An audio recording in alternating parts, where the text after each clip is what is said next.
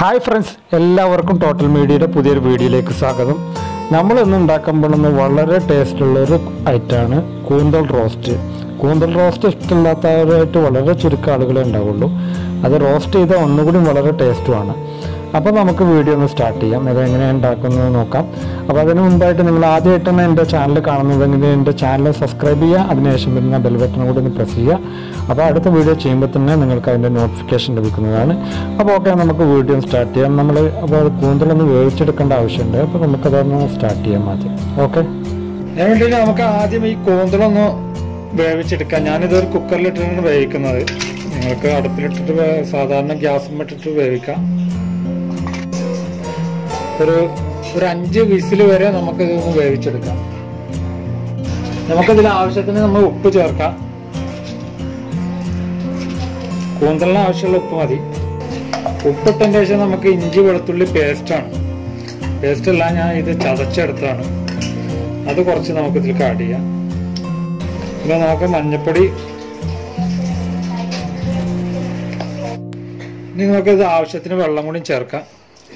വെള്ളം അധികം ചേർക്കരുത്. നമ്മൾ ഈ കൂന്തൽ മുങ്ങിക്കിടക്കാനുള്ള വെള്ളം മാത്രം മതി. ഇനി നമുക്ക് ഇത് നന്നായിട്ട് മിക്സ് ചെയ്യാം.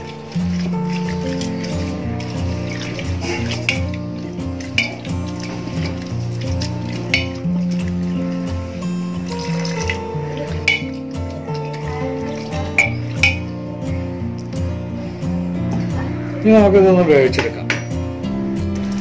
ഇപ്പൊ ചട്ടി ചൂടായിട്ടുണ്ട്. ഇനി നമുക്ക് കുറച്ച് വെളിച്ചെണ്ണ ഒഴിക്കാം. വെളിച്ചെണ്ണ ഉണ്ടെങ്കിൽ വെളിച്ചെണ്ണ വെളിച്ചെണ്ണയാണ് ഏറ്റവും നല്ലത്. ഇപ്പൊ എണ്ണ ചൂടായിട്ടുണ്ട്. ഇതിലേക്ക് ഞാൻ രണ്ട് സവോള ചേർക്കുന്നുണ്ട്. രണ്ട് സവോള ചെറുതായി അരിഞ്ഞതാണ്.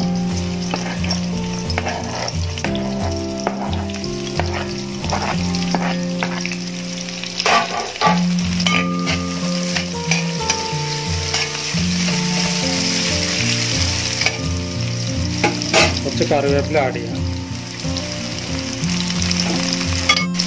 ഇതിന്റെ കൂടെ നമുക്ക് ഈ മസാലക്ക് ആവശ്യമായ ഉപ്പും കൂടി ആഡ് ചെയ്യാം. നമ്മൾ കൂന്തൽ ഉപ്പിട്ട് വേവിച്ചതാണ്. വളരെ കുറച്ച് ഉപ്പിട ഇതിന്റെ കൂടെ ഇഞ്ചി വെളുത്തുള്ളി പേസ്റ്റ്.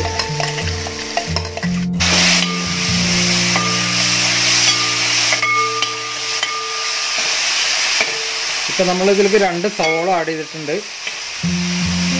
ഒരു മൂന്ന് ടീസ്പൂൺ ഇഞ്ചി വെളുത്തിട്ട് രണ്ടും പാടാണ്. മൂന്ന് ടീസ്പൂൺ എടുത്തിട്ടുണ്ട്. കുറച്ച് കറിവേപ്പിലും ആഡ് ചെയ്തിട്ടുണ്ട്. ഇനി അത് നന്നായിട്ടൊന്ന് വഴറ്റിയെടുക്കാം. നന്നായിട്ട് വഴറ്റിയെടുക്കാം. അപ്പോൾ കുറച്ച് നമ്മൾ വെയിറ്റ് ചെയ്തിട്ട് വ- വഴറ്റിയെടുക്കാം. നമ്മൾ ഉപ്പ് ഇട്ടുകൊണ്ട് അത് പെട്ടെന്ന് വഴണ്ട് കിട്ടും മൂന്ന് പച്ചമുളക് അരിഞ്ഞെടുത്താണ് മൂന്ന് ആഡ്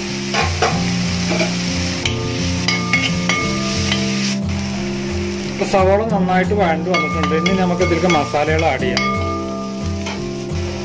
ഒരു അര ടേബിൾ സ്പൂണ് മഞ്ഞപ്പൊടി ആഡ് ചെയ്യുന്നുണ്ട്. ഒരു രണ്ട് ടേബിൾ സ്പൂണോളം കാശ്മീരി ചില്ലി കൂടി ആഡ് ചെയ്യുന്നുണ്ട്. കാശ്മീരി ആകുമ്പോൾ അതിനകത്ത് ഒരു കളർ വേണ്ടിയിട്ടാണ്. ഇത് എരിവുണ്ടാവില്ല ഒരു ടേബിൾ സ്പൂണ് ഗരം മസാല. ഒരു ടേബിൾ സ്പൂണ് മല്ലിപ്പൊടി കൂടി ആഡ് ചെയ്യുന്നുണ്ട്. ഇത് നന്നായിട്ടൊന്ന് നമുക്ക് മിക്സ് ചെയ്യാം. ഇപ്പൊ മസാലയുടെ കുത്തുമണക്ക് മാറിയിട്ടുണ്ടെങ്കിൽ നമുക്ക് ഇതിലേക്ക് തക്കാളി ആഡ് ചെയ്യാം. ഞാൻ ഒരു തക്കാളിയാണ് താഴെ ഒരു മീഡിയം സൈസ് തക്കാളി. തക്കാളി അധികം ഒന്നും ആവശ്യമില്ല.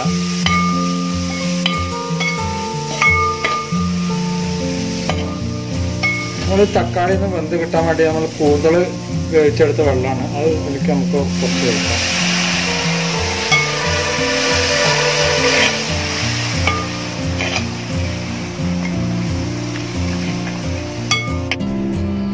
ഒരു അഞ്ച് മിനിറ്റ് നേരം ഒന്ന് അടച്ചു വെച്ചിട്ട് വേവിക്കാം. തക്കാളി എന്നാൽ പെട്ടെന്ന് വെന്ത് കിട്ടും. ഇപ്പൊ തക്കാളിയൊക്കെ നന്നായിട്ട് വെന്തിട്ടുണ്ട്. ഇനി നമുക്ക് ഇതിലേക്ക് കൂന്തൽ ആഡ് ചെയ്യാം.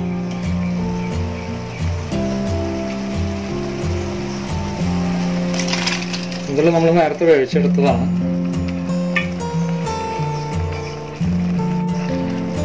ഇനി നമുക്കിത് ഫ്ലെയിം കൂട്ടി വെച്ചിട്ട് ഇതിൽ ഈ വെള്ളം നമുക്ക് വറ്റിച്ചെടുക്കാം. അപ്പോൾ ഈ വെള്ളം വറ്റുന്നതോടുകൂടി നമ്മളെ കൂന്തൽക്ക് മസാലയൊക്കെ നന്നായിട്ട് പിടിക്കുകയും ചെയ്യും. അപ്പോൾ ഇതിൽ വെള്ളമൊക്കെ നന്നായിട്ട് വറ്റിയിട്ടുണ്ട്. നമ്മളെ കൂന്തൽ റോസ്റ്റ് ഏകദേശമൊക്കെ റെഡി ആയിട്ടുണ്ട്. ഇനി നമുക്ക് ഇതിൽ കുറച്ച് കുരുമുളക് പൊടിയും കൂടി ആഡ് ചെയ്യുന്നുണ്ട്. അത് കുറച്ച് എരിവിന് വേണ്ടവർക്ക് അതിനനുസരിച്ചിട്ട് ആഡ് ചെയ്യാം. നന്നായിട്ടൊന്ന് മിക്സ് ചെയ്യുക. കുരുമുളക് പൊടി മാക്സിമം ഇടാൻ ശ്രദ്ധിക്കും എന്നാലും അതൊരു പ്രത്യേക ടേസ്റ്റ് കൂന്തലിന് കുരുമുളക് പൊടി വേണം. എന്നാലേ അതിന്റെ ഒരു ടേസ്റ്റ് ഉണ്ടാവും. എരിവ് വേണ്ടല്ലോ അത്രയൊക്കെ കൂട്ടി കൂട്ടി ഇടാം. ഇപ്പൊ ഇത് തയ്യാറായിട്ടുണ്ട്. ഇനി നമുക്ക് തീ ഓഫ് ചെയ്യാം. എന്നിട്ട് നമുക്കിത് സെർവിങ് പ്ലേറ്റിലേക്ക് മാറ്റാം. കൂന്തൽ റോസ്റ്റ് അതായത് കണവ റോസ്റ്റ് കണവാന്ന് ചില ഭാഗങ്ങളിൽ കണവാന്ന് ഇതിന് പറയാം. അപ്പോൾ കണവ റോസ്റ്റ് റെഡി ആയിട്ടുണ്ട്. അപ്പോൾ എല്ലാവരും ഈ റെസിപ്പി ഒന്ന് വീട്ടിലൊക്കെ ഒന്ന് ട്രൈ ചെയ്ത് നോക്കുക കൂന്തൽ ഇങ്ങനെ ഉണ്ടാക്കി കഴിഞ്ഞാൽ വളരെ ടേസ്റ്റാണ് അപ്പോൾ എല്ലാ ആദ്യമായിട്ടാണ് എന്റെ വീഡിയോ കാണണമെങ്കിൽ എന്റെ ചാനൽ സബ്സ്ക്രൈബ് ചെയ്യുക അതിനുശേഷം വരുന്ന ബെൽ ബട്ടണും കൂടി ഒന്ന് പ്രസ് ചെയ്യുക. എന്റെ ചാനൽ സപ്പോർട്ട് ചെയ്യുക. ആ വീഡിയോ ഒക്കെ ലൈക്ക് ചെയ്യുക ഷെയർ ചെയ്യുക മാക്സിമം സപ്പോർട്ട് ചെയ്യുക. അപ്പോൾ ഓക്കെ അടുത്ത വീഡിയോയിൽ ഇതുപോലത്തെ അടിപൊളി റെസിപ്പിയായി വരുന്നവരേക്കും ഗുഡ് ബൈ